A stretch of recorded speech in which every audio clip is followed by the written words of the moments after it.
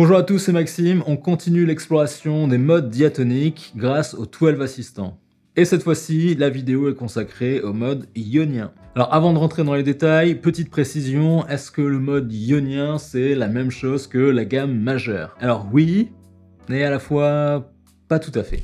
Alors évidemment, ce sont les mêmes notes, les mêmes intervalles, mais quand on parle de mode ionien, on va avoir plutôt une pensée véritablement modale, c'est-à-dire qu'ici le mode ionien désigne vraiment eh bien, simplement la succession des tons et des demi-tons au sein d'une octave. Et quand on parle de gamme majeure, on fait souvent référence à une tonalité majeure et donc à un système de fonctions harmoniques. Fonction de système harmonique, ça veut dire quoi? Ça veut dire que chaque accord est identifié en tant que fonction qui opère et qui a un rôle à jouer au sein de la tonalité. Et grande précision, quand on, parle de tonalité, quand on parle de euh, tonalité majeure ou mineure d'ailleurs, ce qui est inhérent au système tonal, ça va être d'une part de pas forcément se restreindre aux strictes notes et accords de ma gamme majeure. C'est-à-dire que euh, je peux utiliser des accords qui vont être en dehors de ma gamme majeure.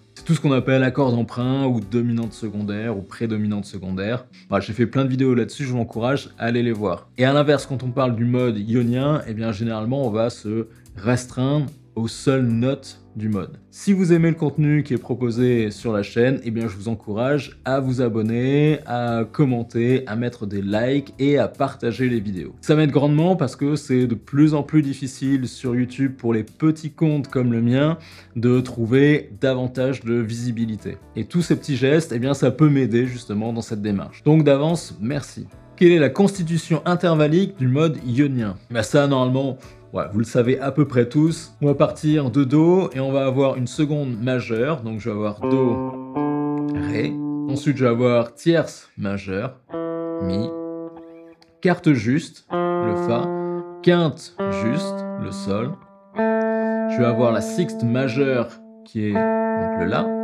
Et je vais avoir une septième majeure, le Si. Et j'ai donc les notes Do, Ré, Mi, Fa, Sol, La, et Do. Comment repérer ce mode ionien à partir de la gamme pentatonique majeure? Donc je vais partir de la pentatonique majeure de Do. J'ai les notes Do, Ré, Mi, Sol, La et Do. Donc j'ai déjà 5 notes sur 7. Il ne manque plus que d'ajouter la quarte et la septième. Donc ici je rajoute le Fa et le Si.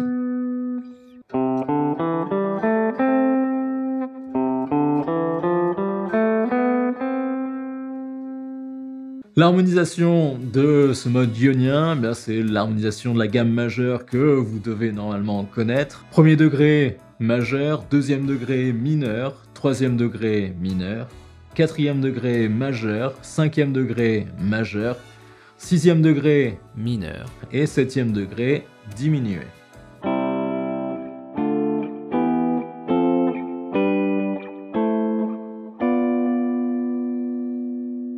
Alors quel est l'accord caractéristique que l'on peut former à partir du mode ionien? Donc l'accord caractéristique, c'est celui qui va avoir les notes caractéristiques sur le premier degré. Eh bien, tout bêtement, ça va être un accord majeur 7, comme ceci. Euh, on peut avoir aussi un accord avec une, euh, une neuvième. Donc ici, par exemple, j'ai le Do, j'ai la tierce majeure, évidemment la tierce majeure qui va donner la couleur majeure de ce mode. Donc j'ai Do, Mi, Si septième majeure, et je rajoute le Ré qui est la neuvième majeure.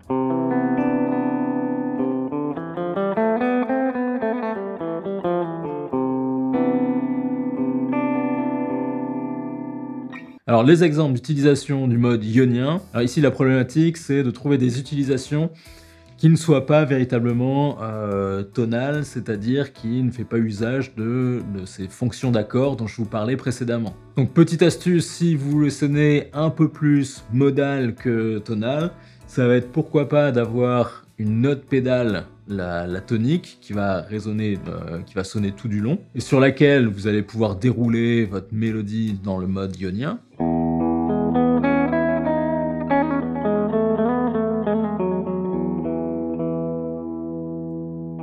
Mais si vous voulez des progressions harmoniques qui soient pensées plus modales que tonales, eh bien je vous encourage à plutôt éviter les accords qui vont avoir des, dissonances, notamment la dissonance du triton. Et notre triton, il est compris dans l'accord de euh, du cinquième degré en, accord de septième de dominante, et il est aussi compris dans le septième degré l'accord diminué. Donc essayez plutôt de faire des progressions harmoniques qui ne jouent pas, qui n'emploient pas le septième degré, ni le cinquième degré, et encore moins le cinquième degré euh, en accord de septième de dominante.